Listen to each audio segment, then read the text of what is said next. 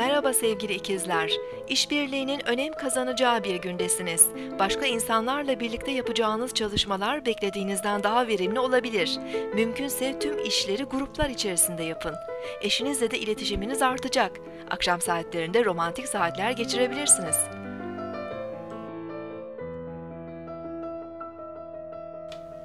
Bugün 23 Mart 2014 Pazar. Güneş günündeyiz. Yay burcunda ilerleyen ay öğlen 12.40'da Mars'la sekstil açı yapacak ve ardından boşluğa girecek. Sosyal ve iyimser enerjilerle hareketli ve keyifli bir tatil günü geçirebiliriz. Bugün farklı ve değişik konular ilgimizi çekebilir. Yabancı kültürler, uzak ülkeler, felsefi ve manevi konular, seyahatler ve gezilere zaman ayırabiliriz. Ay 22.05'te Oğlak Burcu'na geçince daha ciddi, kararlı enerjiler devreye girecek. İş ve sorumluluklarımızla ilgili kavramlar biraz daha öne çıkmaya başlayabilir.